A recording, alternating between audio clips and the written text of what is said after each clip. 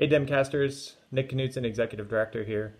Uh, if you're seeing this message, then you've likely been added to or are about to be added to a Twitter group for your state.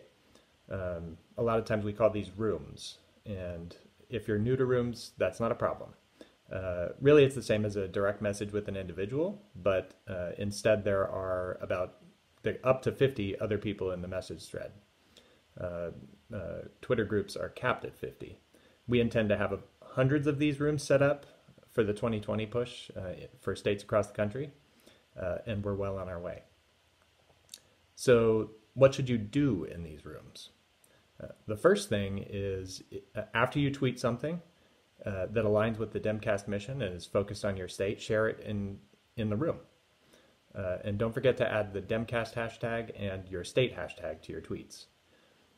Uh, the second thing you can do, in addition to sharing your own tweets, is if you're out there in the Twitterverse and you see something that aligns with our mission, that some that was uh, created by another grassroots activist or a grassroots organization or a um, candidate or a official in your state, then um, go ahead and share those in the room so that we can amplify those voices. That's part of our mission.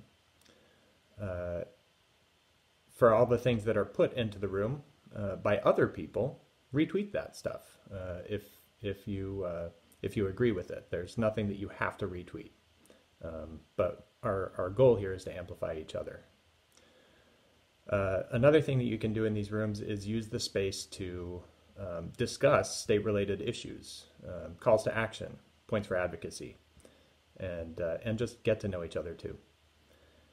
And um, Another thing that you can do is just share links to news stories that you find, grassroots news stories from the Demcast website or other websites uh, that you think should be amplified.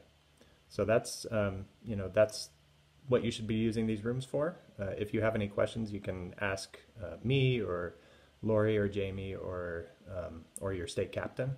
Uh, probably go to your state captain first and um, uh, enjoy and just sort of feel it out and and uh, get to know each other.